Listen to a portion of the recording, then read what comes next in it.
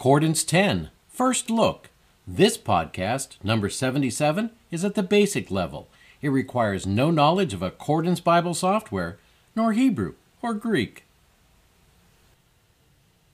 You have been so patient. You've read our Twitter feeds, our Facebook posts, and the Accordance blog. Well, the day has finally arrived. We released Accordance 10 this morning. It features a brand new interface, dozens of new and improved features, and six new collections of modules. Accordance 10 for Mac is available right now. It requires an Intel Mac running OS 10.6 and above, and yes, it is both fully Lion and Mountain Lion compatible. Now, those of you using Windows will have to wait just a bit longer. That's because, for the first time ever, we will have a native Windows version. That's right, we've been working on it secretly for a year now. Accordance 10 for Windows will be available in 2013 with all the features of the Mac version, and it will not require a Mac emulator. Ready for your first look? Let's go! Here's a sample workspace from the Accordance 9 we've all come to know and love. With the library window arranged on the left, the resource palette on the right, and the instant details window on the bottom. And now here, wait for it, is Accordance 10. Accordance 10 features a new unified workspace, a customizable toolbar, detachable instant details, and an improved integrated library window. And that's just the beginning of the list of improvements. Let's take a closer look at each of these four features. The unified workspace is perhaps the most obvious of the changes in Accordance 10. It's been a big request of our users. Basically, it allows users to move all the parts of their workspace simultaneously, especially when moving to different monitors. Resizing the workspace to different resolutions is now a snap. Just click the Expand button, and the workspace expands proportionally, maintaining the relative position of each of its parts. Returning to a smaller monitor is just as easy. Just click. Those of you with MacBook Airs and large monitors on your desktop will really benefit from this change. One of the places we've been able to save space is by eliminating the resource palette. It's been replaced by the new toolbar, which can be hidden or revealed with a single key combo, Option Shift 0. The toolbar is also customizable so that users can place their most commonly used actions right at their fingertips. Use the contextual menu, Control click, to open the toolbar preferences. Now let's add a few icons. We'll choose the Atlas and a couple of others. We'll close it. Now look at how fast it is to access the highlighting pop-up, or open the Atlas, or for that matter, open and close Instant Details. Speaking of Instant Details, it's now on the bottom of the workspace where it can be hidden or revealed with a simple click on the toolbar, as we just saw. It can also be moved to the right side of the workspace. There, its header is automatically moved to the top. We also know that some of you have your own unique uses for the Instant Details window, like supersizing it and giving it its own monitor so that you can read entire articles instantly. Well, we've got something for you too. Instant Details can be detached from the workspace by clicking here. Users can then move it wherever they'd like.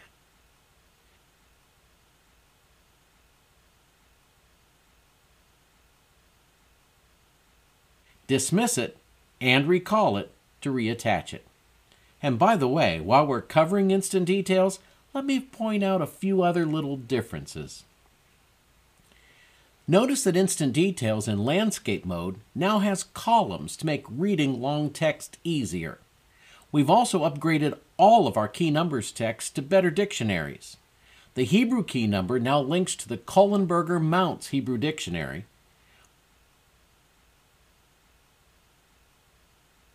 while the Greek key numbers link to the Mounce Greek Dictionary. Both offer dramatic improvements over the older Strong's dictionaries.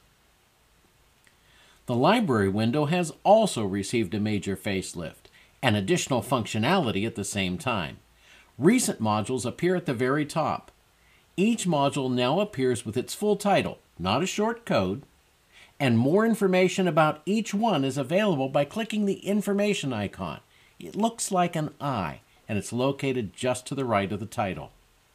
We can also now search directly within modules in the library, just as we used to do in the resource palette. Simply select a word or phrase and click the new Amplify icon to the very right of the eye. The same is true for a module within a folder or a subfolder. We search it like this.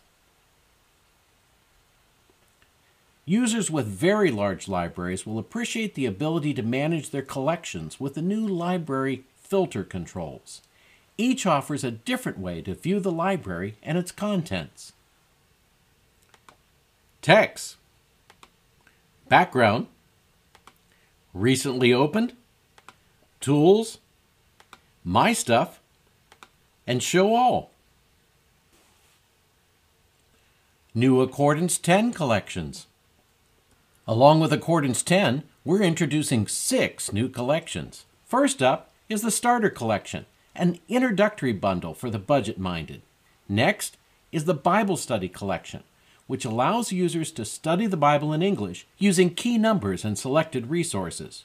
For those with knowledge of Greek and Hebrew or the desire to learn, we offer the Original Languages Collection, everything anyone needs for first year Hebrew and Greek, and a whole lot more besides. Moving up the ladder, there's the Essential Collection, a combination of the Bible Study and Original Language collections, plus our Timeline, Atlas, and Photo Guide. The Advanced Collection offers even more resources. It's designed for working ministers or other professionals. And finally, the Ultimate Collection is a superb library with premier tools and the very best value we offer the equivalent of over $17,000 worth of books in print. And of course, all these collections include Accordance 10. For a convenient comparative chart and pricing, use this web page. Seen enough? Ready to upgrade? The Accordance 10 Bible software program is only $49.99. However, as we just said, it is free to anyone buying any of our new Accordance 10 collections. Check out both possibilities here. Bought Accordance 9 after May 1st? Well, congratulations, your upgrade is free. Just order it using the discount code 10ACFREE, written just like this.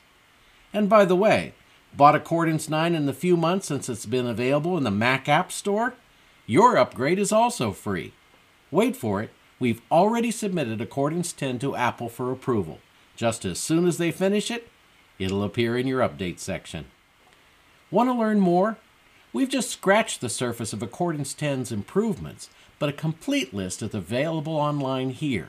Current Accordance 9 users will want to see just the new features Accordance 10 has to offer.